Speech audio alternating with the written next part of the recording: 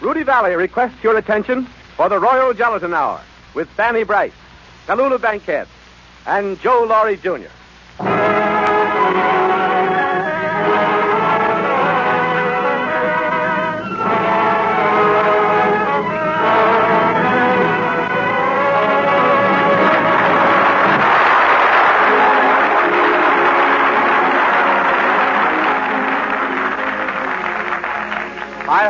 everybody. This is Rudy Vallée and Company.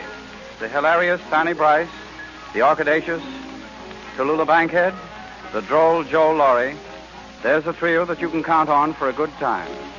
Fanny brings her little hellcat, Baby Snooks, to an Eastern microphone for the last time before leaving for Hollywood on a new screen contract. Tallulah will be heard in a new play by Dorothy Parker. And Joe continues on his novel way for the fourth consecutive week. In addition to these professional entertainers, we have with us an amateur of high standing in the community. New York Town's best known and best liked host, Frank Case, proprietor of the celebrated Algonquin Hotel. We're so proud of our people this week that I'm going to ask Graham to run through the list again. Graham, if you will. We have with us this evening Frank Case, Joe Laurie Jr., Fanny Brice, Tallulah Bankhead in a play by Dorothy Parker.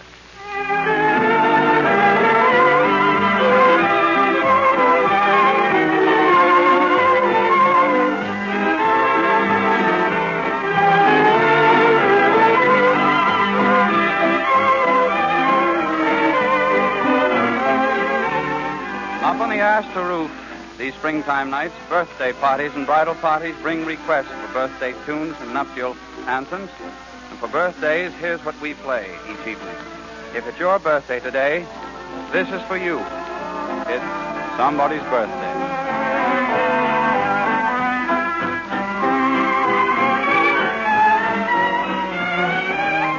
For it's somebody's birthday, the first time on earth day, time to be happy and gay.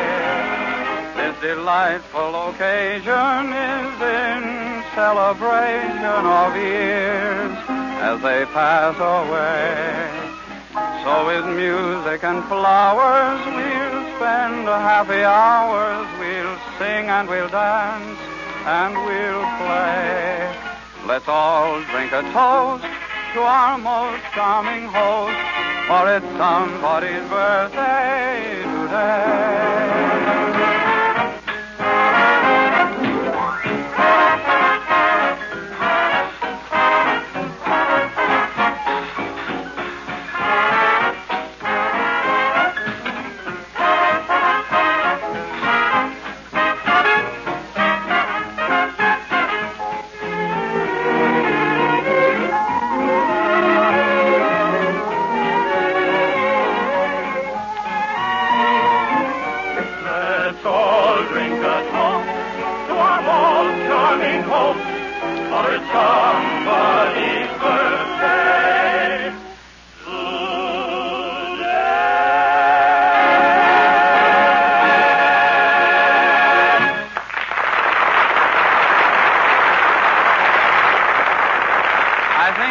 The reason so many people like Joe Laurie Jr. is this. He sounds like such a nice little guy, if you'll pardon the vernacular. And the reason he sounds that way, strangely enough, is because he is such a nice little guy. Moreover, his stuff is different, refreshingly so. Quite away from the ordinary run of the mind radio material. For example, the tall tale he has for us tonight. Enter Joseph Jr. wearing his customary cigar.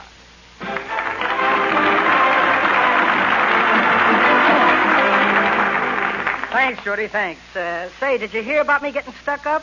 Only four times in the program and you're getting stuck up already.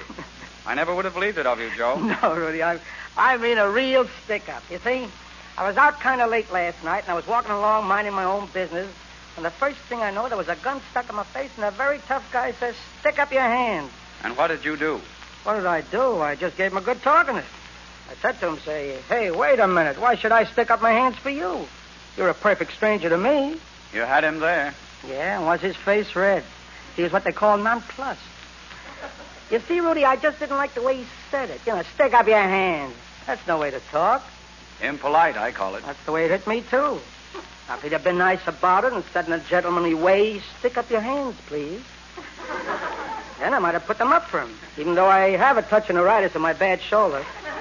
By the way, Rudy, I think I'm going to get cured of that neuritis. How, Joe? Well, I found a doctor that knows all about it. He's had it himself for 20 years. Go on about the holdup, Joe. Well, I told that guy plenty. I said to him, see here, mister. You know you wouldn't do this if there was a cop around. And you know all I got to do is to call a cop and you'd be arrested? And I bet you haven't even got a license to carry that gun. Would you believe it, Rudy? He didn't. No. Cross my heart, Rudy. He didn't ha- even have a license. So you see, I could have got him in wrong there. Then I said, uh, let's talk this thing over, buddy. Now, when you told me to stick my hands up, you were going to go through my pockets, weren't you? Well, it's an old trick. And besides, that's my wife's job. And why should you pick on me when there's lots of other guys that have more dough than I have? Then I said, uh, you know, you ain't going to get anywhere doing this kind of business. Did you ever hear of anyone in your profession getting on top? And he had to admit I was right. And another thing, I said, supposing I hadn't come along, then what would you have done? At that, you came near missing me. I was supposed to be over in Jersey tonight at the clam bake. and another thing, supposing I was on the other side of the street, then what would you have done? Well, Rudy, he had no answer. So I just gave him a cold look and walked away from him without even saying goodbye. Just like that. Just like that, Rudy. And did he feel foolish standing there all alone with a gun in his hand? Well, while I was walking away, I got to thinking things over and I got kind of mad. So I went back to him. See here, I says, I'm not through with this yet. You got me good and sore. You know, I had to meet my wife and I'm late, and it's all your fault. What am I going to tell her now? You don't think I'd be a sap and tell her I was stuck up? I couldn't get away with that old one because I've told her some good ones, see? Here you've been taking up my good time, and what do I get for it? I'm a citizen, and I pay taxes. I'll bet that's more than you do. Why, you haven't even got a Social Security card. Whatever got you in this business anyway? Well, Rudy, by this time I had the guy crying. And he says, listen, fella, don't bore me out. I'm just one of them unfortunate guys that got started in life wrong. Then I said, I suppose you're going to tell me your father was a stick-up man. No, he said. I had the finest father in the world. And what started you, I said. And Rudy, that big guy stood there bawling like a kid with a gun in his hand. And what do you think he said? What did he say? He said, Santa Claus started me. no kidding. Well, by the look I gave him, he must have known I didn't believe him. No kidding, he says. You see, every Christmas I'd hang up my stocking and Santa Claus would bring me a toy gun. One Christmas when my father was working, Santa brought me a machine gun. No real bullets or nothing. My old man wasn't that rich. And I got to playing with guns even when I grew up. Then when I got of age, I got a funny sickness. I could eat well, sleep well, but I had no desire to work. you see, I'd like to sleep all day, and when night came, for some reason, I just couldn't sleep. So I walked around the streets all night. Then I figures, why waste my time walking around doing nothing? Why not pick up a few bucks here and there? So I took this gun that I had over the house and that I only used on the 4th of July and figured it would do the gun some good to get a little exercise, too. So you see, I kind of wandered into this racket. Well, by this time, Rudy, he had me crying. Listen, I said to him, why don't you get yourself a nice little wife and settle down? Why, I already got a wife, he says, and she's the sweetest little woman in the world. Listen, buddy, would you believe it? The day after we were married, she went out and got a job. It was tough on me having to stay home by myself, but I made that sacrifice. Every night I'd sit on the stoop and wait for her to come. When I'd see her coming out of the subway, I'd run to meet her. And I'd say to her, gee, honey, you look tired. Let me carry your pocketbook for you. you see, mister, I got character. Well, Rudy, he hung his head. He had one of them heads that looked well hung. Be careful, Joe. You'll have me crying. Well, it is kind of touching, isn't it, Rudy? Well, he hung his head and sort of swung it from side to side in a very sad, puzzled way. Buddy, he said, I'm sorry I ever met you tonight. You got me so nervous I wouldn't be any good to work again for weeks. You know, I had a date with my wife tonight, too. What am I going to tell her? I can't say I went to see a double feature because she knows nobody stays to see a double feature. And by the way, young fella, you hit a sore spot when you said I didn't have a social security card. What does this look like? A ticket to the Schmeling Braddock fight? Well, Rudy, he showed me his social security card. And he had a low number, too. You know, it made me feel sort of, well, sort of foolish. So we stood there looking at each other for a minute or so, saying nothing. And finally, kind of break up the monotony, I says, You'll never make a success in this business. You don't know the first thing about it. Now tell me, why did you hold me up on a lighted street? And he said, Can I help it if I'm afraid of the dark? Well, with that, I get kind of disgusted and says, Oh, you make me sick. You don't even know the right time. And do you know, Rudy, he didn't? You see, uh, I had his watch. So long, Rudy. I'll be seeing you.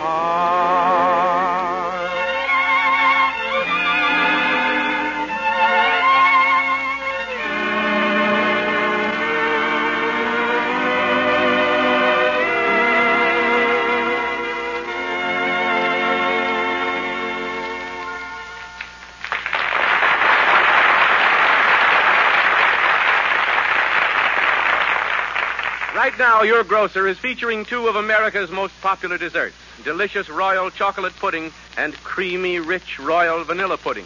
These warm days when cooling and refreshing desserts are so welcome to everyone, you'll want to have royal vanilla pudding often. For besides being a delicious cold pudding, royal vanilla pudding makes marvelous homemade vanilla ice cream at very small cost. As you know, royal vanilla pudding itself tastes very much like rich vanilla ice cream. You can easily make your cooked royal vanilla pudding into real ice cream by just freezing it with a little cream and sugar in your automatic refrigerator or a pail of salt and ice. You'll find simple, easy directions on every package. And whether it's frozen into ice cream or just served as pudding, royal vanilla pudding is an ideal dessert for children, for it's made with wholesome arrowroot. And now, for a limited time only, royal vanilla pudding and royal chocolate pudding are being featured at your grocer's. Take advantage of this special occasion and get a good supply of these delicious puddings. The convenient, economical way to buy them is to get three packages at a time. Buy three packages of genuine royal pudding from your grocer tomorrow.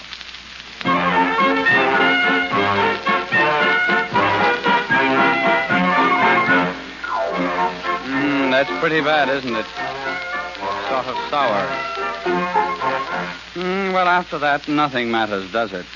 It's a thing that one cannot explain, but it's like a long draught of champagne to awaken perchance to the whirl of La France, where only the river is sane. It's a matter of learning to live that old ladies would never forgive. It's plain to see sunshine is free Now is the time for lovey, when all the trees are green, so green, and all the grass is green, so green, and all the frogs and flies are green. It is the spring. Asparagus is green, so green, and most of us are green, so green. The smoke room joke, let's keep it clean, is green, so green. And when you meet a girl, you need not ask her pardon. Just say, if your name's Maud, please come into my garden. When trees and flowers and grass are green, and life's a joke, see what I mean. It's no surprise to realize that I'm so green.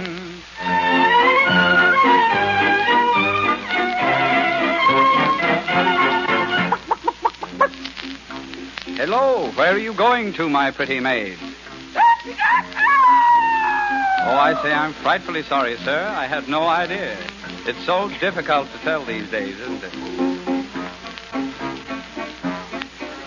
The sprouts and leeks are green, so green. The old cabbage is green, so green. And figs and beans and plums and cress are green, so green.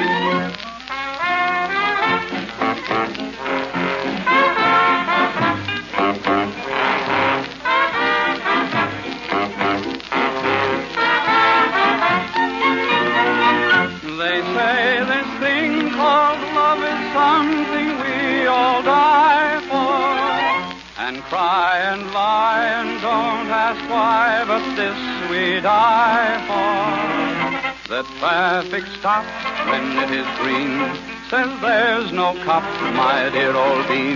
Go right ahead, you're all serene and green, so green. Fetch me a glass of buttermilk quickly, please.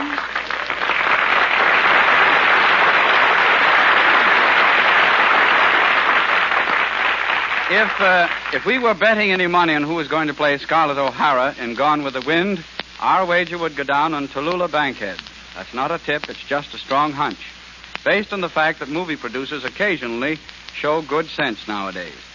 To provide Tallulah with a play tonight, we have dramatized a short story by Dorothy Parker called Advice to the Little Peyton Girl. The adapter, Hilda Lawrence. With Miss Bankhead, you will hear Miss Florida Friebus, who plays the aforesaid Little Peyton Girl. This is Tallulah Bankhead in a Dorothy Parker play.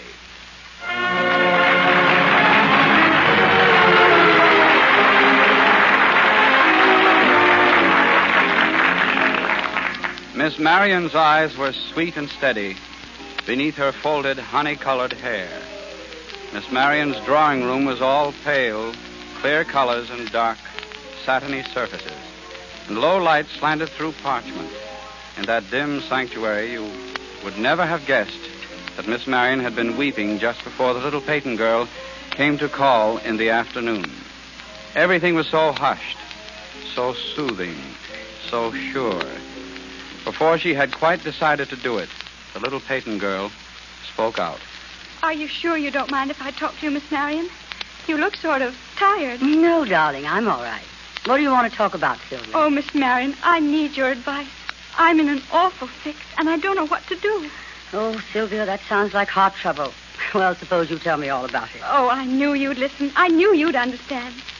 Miss Marion, do you know what it's like to be in love? I can probably imagine, darling. Go on. Well, it's Fred Barkley. You see, it isn't as if we'd actually had a quarrel. We've just sort of drifted apart. And I haven't seen him for two weeks. And you can't bear it and you wish you were dead. Is that it? Yes. Do you love him that much, Sylvia? Well, I. Oh, yes, I. Well, it's so awful without him. We used to see each other every day, every single day. And he'd always telephone me when he got home, even if he'd just left me ten minutes before. And he'd always call me as soon as he woke up to say good morning every day. Oh, you don't know how lovely it was. Yes, I do, Sylvia, I know. And then it stopped. Just suddenly stopped, didn't it? Yes. What made it stop, Sylvia? What did you do? Well, one night after he'd gone home, he didn't telephone me. I waited and waited. It was awful. You wouldn't think it would matter that much, would you? But it did. Yes, I know it did. It does. I couldn't sleep. I got to thinking that maybe he'd gone to see somebody else after he left me. And I just couldn't stand it, so I called him up. Yes, of course, you called him up. How old are you, Sylvia? Nineteen, aren't you, darling? Yes. Well, I've seen women of 30 make just the same mistakes. Tell me, was he at home when you called him? Yes. He'd been asleep, and he wasn't very nice about it. I asked him why he hadn't called, and he said it's because he didn't have anything to say. I asked him if he'd been out with somebody else, and he said no. I didn't believe him, so I cried. Did he hear you cry? Yes, he... He hung up on you, didn't he, Yes. Sylvia? So I called him back. Called him back. Oh, darling, why? Well, I thought I'd lost him. What else could I have done? Well, you could have used bloodhounds. Go on, go Well, on. I, I had to find out. I kept asking him if anything was the matter, and he kept saying no and acting cooler and cooler as if he didn't love me anymore. And then, And then he started going around with another girl. how did you guess? Oh, I'm awfully good at guessing things. I can probably guess a few things about the other girl, too. She's pretty awful, isn't she, Sylvia? She's terrible. Yeah, of course she is. You know her, Miss Mary? No, darling, I don't know her, but I do know this. No man ever leaves us for a finer woman. You just ask any girl you know, and she'll be glad to tell you that she lost her man to a girl who was a perfect fright. Listen, Sylvia, you didn't tell the Barclay boy that you didn't like this uh, new menace, did you? Why, uh, yes. Oh, baby child, that was wrong. Never, never point out another man's woman's imperfections to a man. You ought to know that. I couldn't help it.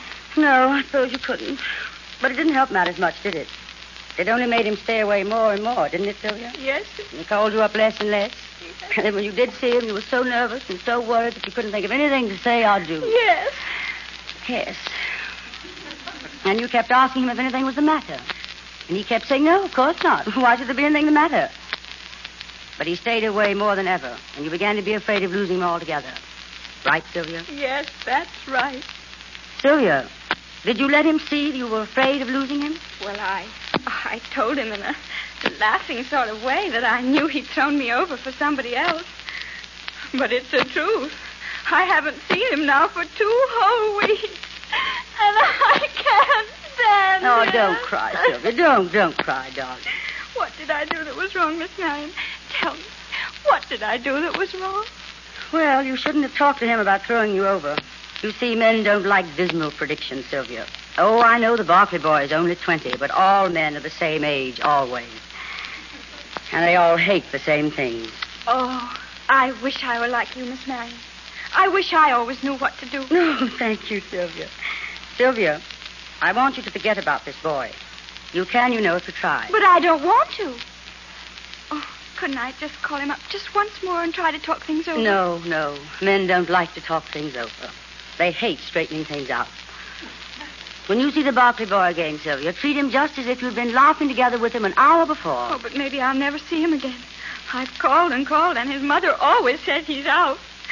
That woman hates me. Of course she doesn't hate you, darling. You just think she does. In times like this, it's very easy to think the world is hostile.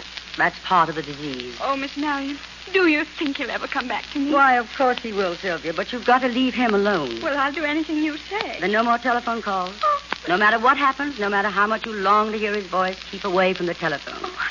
If he calls you, darling, that's fine, but you must never, never call him But, again. uh, If you do, he'll think you're pursuing him. He won't like that, you know. Never let a man know how important he is to you. You've done that already, and it was a mistake, but you needn't make the same mistake twice. well, I should think men would like to know how much a girl loves them. They should, but they don't. They like to be kept guessing. And Sylvia, above all things, don't ever let him know he's made you unhappy. Well, I'll try. But I'm afraid. You must conquer your fears, dear child. A woman in fear for her love can never do right. Realize that there are times he will want to be away from you. Never ask him why or where. No man will bear that. Don't predict unhappiness nor foresee a parting. He'll not slip away if you don't let him see that you're holding him. Sylvia, love is like quicksilver in the hand. Leave the fingers open and it stays in the palm. Clutch it and it darts away. Be above all things always calm. Never in this world make him feel guilty, no matter what he's done. He doesn't call you when he said he would, or if he's late for an appointment with you, don't refer to it. Make him feel that all is well always. He's sweet and gay, but Sylvia always, always calm. And trust him, Sylvia. He's not deliberately hurting you, my sweet. He never will unless you suggest it. Trust yourself, too. Don't let yourself become insecure. I know it sounds unkind, darling, to remind you that there are always others. When I know that he's the only one you want. But it's a very heartening thought, Sylvia. And he's not to know that he's the son, and there's no life without him. He must never know that again. It's a long way, Sylvia, and it's a hard one. And you must watch every step you take along it. But it's the only way with a man. Well, it isn't easy, is it? But if it'll work, I. It always has, dear. Miss Marion, I think you're the most wonderful woman I ever knew. Oh. You've made it all so clear. Do you know what? What, Sylvia? From now on, I'm going to try to be like you. Oh, like me. Yes, you're so wise and so sweet. Why, you'd never get yourself in a mess like this. You always know the right thing to do. Well, I've had several years more on which to practice than you, darling. Now run along, Sylvia, and for heaven's sake- sakes, keep away from the telephone. Now that's ru- rule one. I will. Oh, I will. Mattie. Mattie, Yes, miss. take Miss Sylvia to the door, will you? Then come back here. Yes, um, this way, miss. Oh, don't bother, Mattie. I can find my way all right. Goodbye, Miss Marion. Goodbye. Thanks a million times. You're, you're wonderful. Good luck, darling. Goodbye. Goodbye. Silly kids, Mattie. When will they ever learn? I wonder if they know how funny they are. Of course they don't. And in spite of everything I've said, she'll go right out of here and throw herself at his head. Yes, um. I gave some very good advice, Mattie, but I'm afraid she won't take it. she probably thinks I'm a fool and don't know what I'm talking about. Well, she'll learn. Yes, um. Girls is funny that way. What time do you want your dinner, miss? Dinner? Well, I don't think that. Well, I don't know, Mattie. I, I uh, may be dining out tonight. Uh, Mattie, any messages come while I was out this morning? No, nobody called at all. You sure? Yes, I didn't leave the house a minute. Nobody called at all. Well, that's funny. Maybe maybe the phone's out of order, Mattie. Yes, um. Maybe he called and you didn't hear him, Mattie. Well, I'll just try him once more. I'll pretend I've been out all day and say I thought I might have missed him, see? If I make my voice sound sort of casual, do you think, Mattie? Uh, hello? Uh, Mr. Lawrence, please. Oh, he isn't. Is uh, this his secretary speaking? Yes, but I called yesterday and left a message. It was very urgent. Uh, did you tell him? You did. I see. Well, if he um, um, uh, if he comes in again, just tell him I uh, uh, tell him that I called. Will you please? Thank you so much. She's lying, Mattie. She didn't tell him. That woman hates me. I can tell it by her voice. Of course she's lying. He wouldn't do a thing like this to me, Mattie. Maybe, maybe he's at the club, Mattie. I'll try the club. Maybe he got tired of the club and couldn't come. Um, um, uh, hello? Tennis club? I- Is Mr. Lawrence there, please? Oh, I see. Oh, when did you last see him? When was he last there? Oh, no, no, thank you. There's no message. Uh, unless you tell him when he comes back that... Well, no, never mind. That's all right. I'll call again. Thank you. He was there all the time and didn't want to talk to me, Mattie. I know it. He was standing right by the phone and laughing. I could hear somebody laughing. Oh, I'm going crazy. He wouldn't do that to me, Mattie. Not to me. He said he wasn't angry, you know. He said everything was all right. He's sick. That's it, Mattie. He's sick. And that fool secretary won't tell me. I'll kill that woman. I'll get the office again and I'll make her tell the truth. He said there wasn't anything the matter. He said he'd call me when he could. I. Uh, hello? oh, this is Miss Marion again. I'm awfully sorry to trouble you, but. Uh, well, I thought that maybe I. Well, I hate to be so persistent, but. Are you sure you gave my messages to. Uh... Oh, I see. He's gone abroad. Oh, thank you. Goodbye.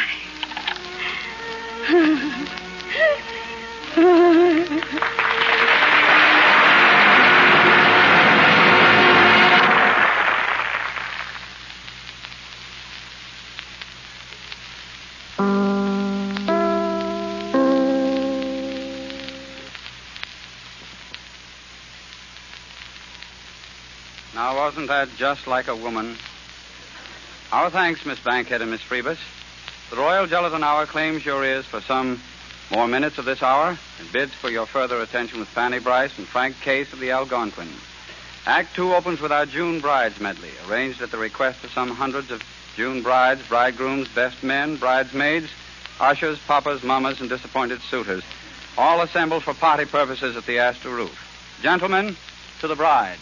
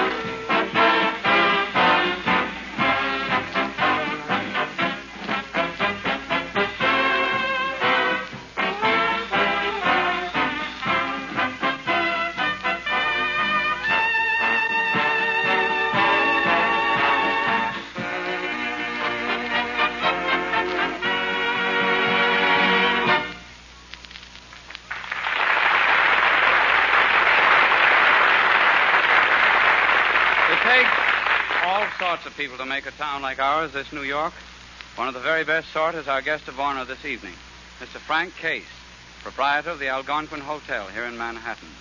Mr. Case represents the finest flower of that night and day blooming species, the innkeeper or boniface. It is with pride that we add him to our gallery of folks you ought to know. His hostelry, which he loves as if it were his only child, has long been a meeting place for important personalities of the stage, the pictures, and the book publishing world. As a result, Mr. Case meets even more interesting people than we do, which is saying quite a lot. May I present New York's best known host, Frank Case.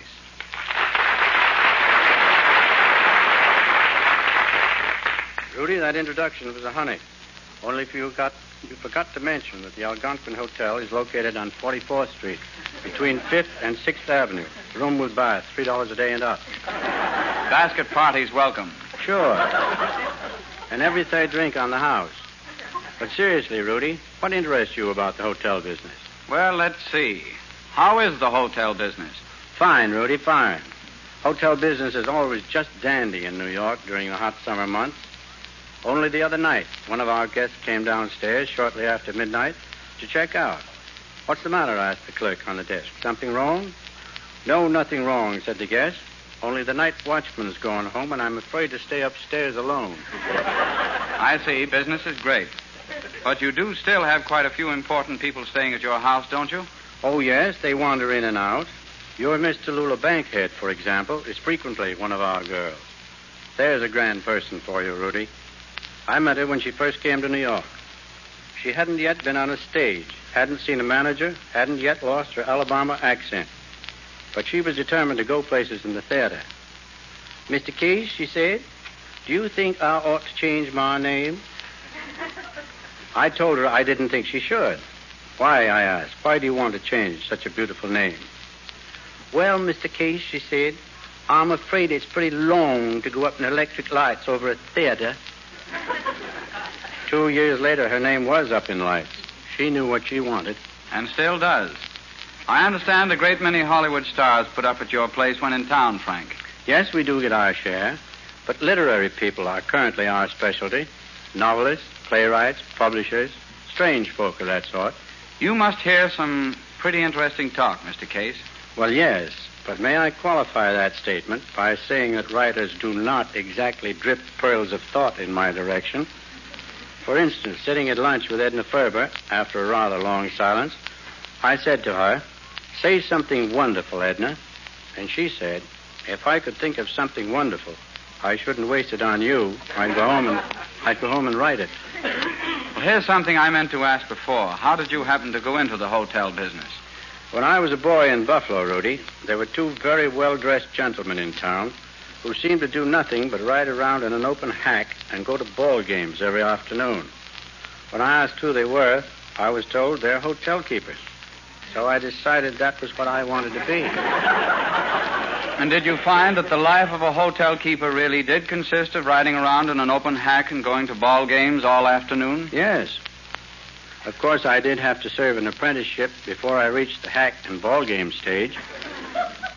I went to work as night clerk at the Genesee Hotel in Buffalo. A night clerk, Rudy, is supposed to stay wide awake all night. In more ways than one. Yes, indeed. Well, I couldn't do it, but I finally solved the problem by wearing roller skates. We had a beautiful marble floor, and I skated around all night. If you ever want to stay awake, Rudy, try roller skating. It works.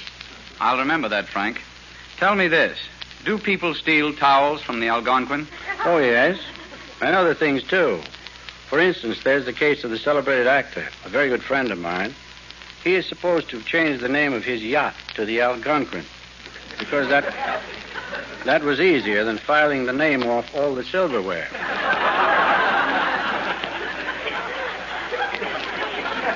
Do you steal hotel towels, Rudy? Well, not recently. I, I used to have one marked Hotel Taft, New Haven, but that happened quite a few years ago.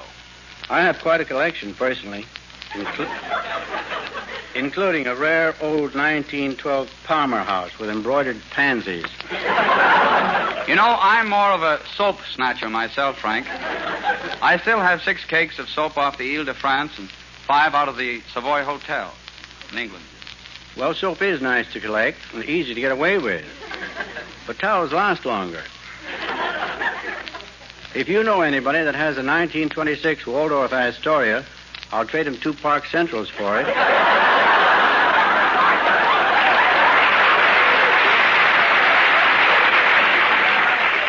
I'll inquire among my friends at the Friars Club.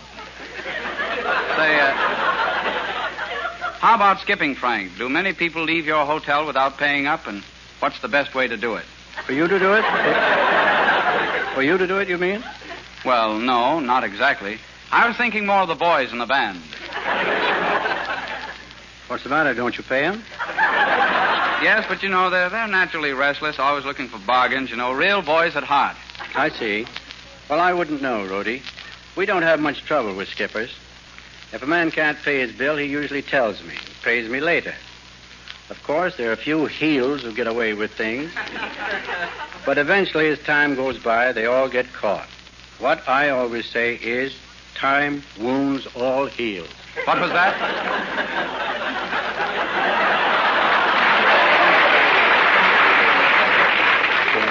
What was that? Time wounds all heels. It's fun. Oh. Seriously, Frank, what in your opinion constitutes a good hotel? A good hotel, Rudy, is simply a place where one can get a good night's rest and good food. It's small, in my opinion, eminently quiet, friendly, respectable, with complete service at reasonable cost. Of course, Rudy, a hotel like that might not appeal to the boys in the band. They might prefer something a little more, well, uh, Fortissimo? yes, a little more fortissimo. Like the hotel I heard about once that had only two rules. Two rules? What were the rules? No opium smoking in the elevators. and guests will kindly bury their own dead.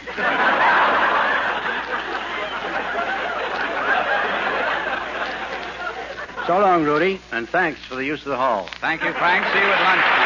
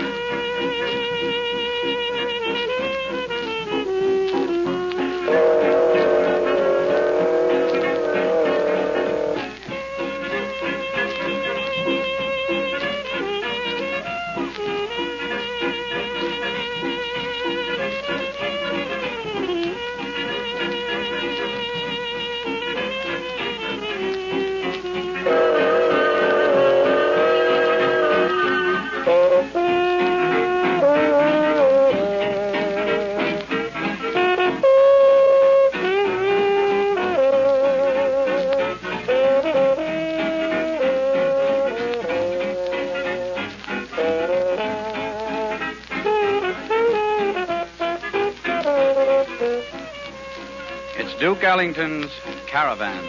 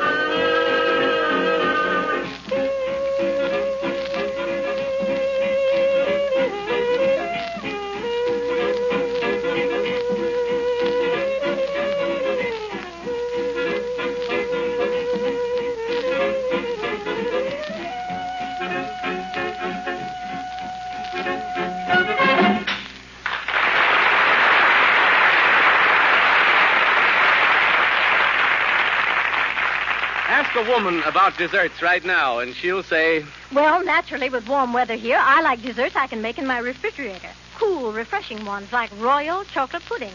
Yes, royal chocolate pudding is a grand summer dessert. And have you tried making homemade ice cream with royal chocolate pudding? No, but I've heard it's marvelous. It certainly is. And next time you want some extra delicious homemade ice cream, just freeze some cooked royal chocolate pudding with a little sugar and cream. It's very easy. And you can make marvelous vanilla ice cream, too, with royal vanilla pudding. Just follow the directions on every package. Use your automatic refrigerator or pack it in a pail of ice and salt. And don't forget that royal gelatin is another cooling dessert you make right in your refrigerator. In royal gelatin, you get the flavor of real fruit, of juicy, rich strawberries, cherries, raspberries, and those cooling tropical fruits, lemons, oranges, limes, and pineapples. Right now, your grocer is featuring delicious royal chocolate pudding and smooth, creamy royal vanilla pudding. Desserts that are mine tomorrow. R O Y A L.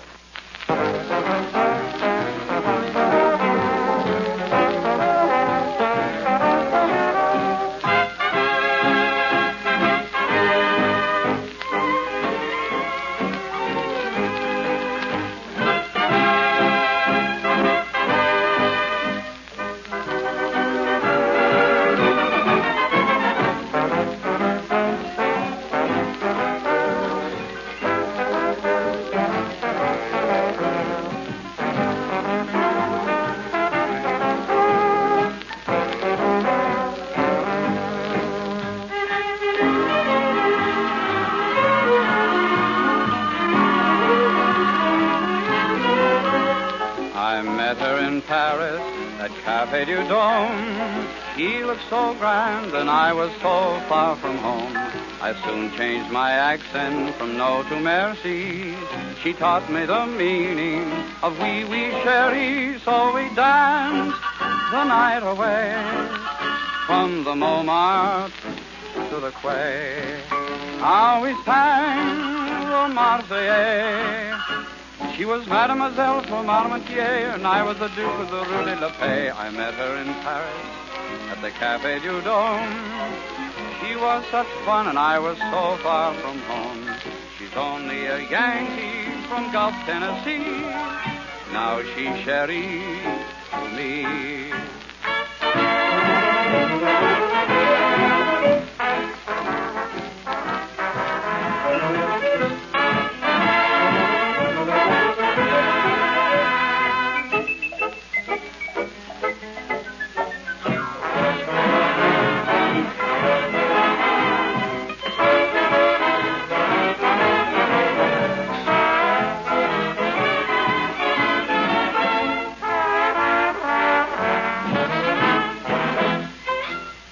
Some months ago, the movies became sensible and signed up Sophie Tucker. And now they have persuaded Fanny Brice to exchange Broadway for the swimming pool and the eucalyptus country. The producers, MGM, have our congratulations. Fanny celebrates her imminent departure for the cinema coast with a final eastern fling with Baby Snooks, that terrible tot that she popularized on the air. She is assisted tonight by the veteran Teddy Bergman. Enter Fanny Brice as Baby Snooks.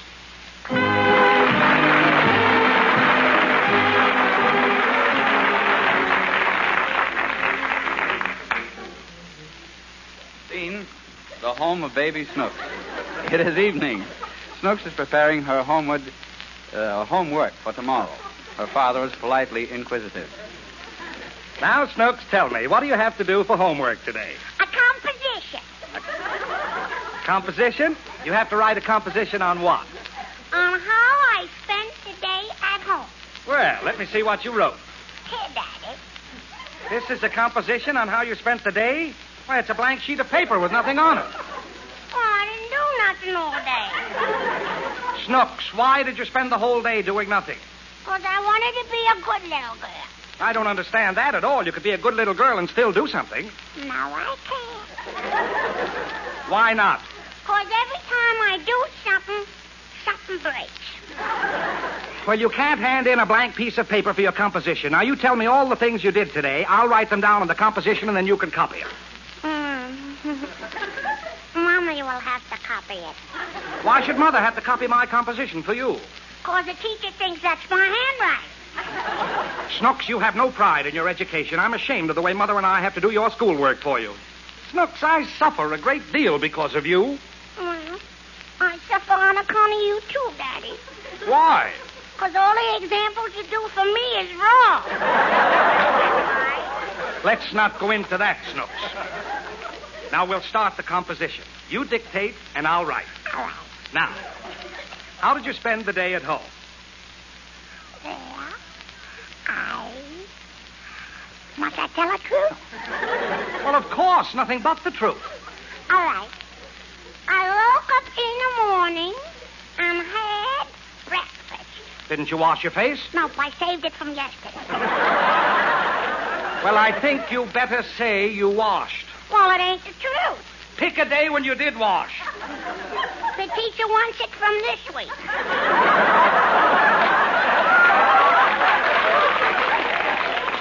I'll take that up with you later, Snooks. Now go on with your composition. What did you do after breakfast? I waited, and I waited, and I waited You waited for what? for lunch. What did you do after lunch? I waited some more. What for? Your dinner? Now for my four o'clock milk. You can't write a composition just about eating all day. Who can? You! You should tell something about what happened. All right. Daddy and Mommy was fighting all day. Now, just a minute. You can't write a thing like that. Why? Because you'll give the wrong impression. You'll make people think your parents fight all the time, and you know that Daddy loves Mummy. Not today, he didn't. That was a very special case about a new dress your mother bought. Let's continue with the composition, and remember, you can't say Daddy was fighting with Mummy. All right. Mommy was fighting with Daddy all day. I won't allow it. You mustn't write a thing like that. All right. Then you write the composition. All right. After breakfast, I rode on a nice new horsey Daddy bought me. What horsey? Now, Snooks, it's just a make-believe horsey for the composition. Now, after you rode on the horsey, what happened? Daddy was fighting with Mommy all day. What? Yeah, throwing dishes. Now, you know that's not true. What dishes? Just make believe dishes for the composition. Snooks, I don't want you to mention Daddy or Mummy again in connection with your composition. Do you understand? Mm-hmm. Now, what happened after breakfast? A lady and a man was fighting all day. I don't want to hear any more about that fight. Just tell me what happened to you. Weren't you sent on some errand? Didn't you do something? Oh, yeah. Mommy sent me to the grocery store. Mummy sent it you. Yeah, and I went it and went it. What kind of talk is that? When you're writing a composition, you can't talk like that. You must use your very best English. All right. Now dictate it exactly as you want me to write it in the composition in your very best English. All right. After breakfast, I just went to the grocery store. No, no, you can't say that. Don't you know anything about tense? Is is the present tense, was is the past tense. Oh, I was went to the grocery store. No, no, the correct thing to say is I went to the grocery store. You didn't, I went. I know you went, but the right thing to say is I went. Understand? Did we both went? No, no, no, no. I didn't go. You went. Now say it. You went. Not you went. I went. That's what I said you went. When I say I went, I don't mean I went. I mean you went. Do you feel all right, Daddy? I feel as well as I can under the circumstances. Now let's go on with the composition. All right.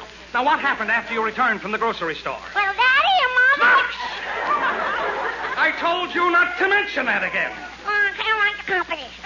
Now, this is too much. Snooks, you're a very naughty girl, and you're backward in your schoolwork. There's only one way I can see any hope for you. You'll have to pray to the angels every night to make you a good girl.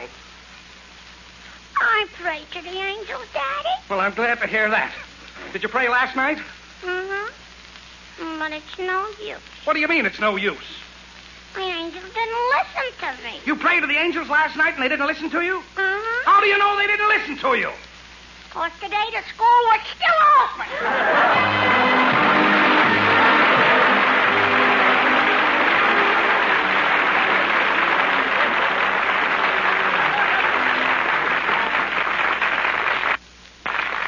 Since warm weather started, millions of women have been using royal chocolate pudding in two ways. They serve it as cool, delicious pudding, and they freeze it into fine, smooth homemade ice cream. One of these women says, I always knew that royal chocolate pudding by itself was a delicious cold dessert. And then one day, I noticed an ice cream recipe on the package. It sounded so easy, I made some. How'd it turn out? It was marvelous. In fact, my children said it was the best chocolate ice cream they ever tasted. And of course, it saved me a lot of money, too. Yes, Royal Chocolate Pudding is wonderful for making delicious homemade ice cream. You can use an automatic refrigerator or a pail of ice and salt. It's very easy. You'll find complete directions on every package. Royal Chocolate Pudding, you know, is the rich tasting chocolate pudding that's fine for children because it's made with wholesome arrowroot. Arrowroot keeps your pudding smooth, cooks fast. And so you can make Royal Chocolate Pudding in only five minutes instead of 20. Right now, your grocer is specially featuring Royal Chocolate and Royal Vanilla Pudding. Try these cooling, refreshing desserts. Buy three packages of Royal Pudding tomorrow. R O Y A L, Royal Pudding.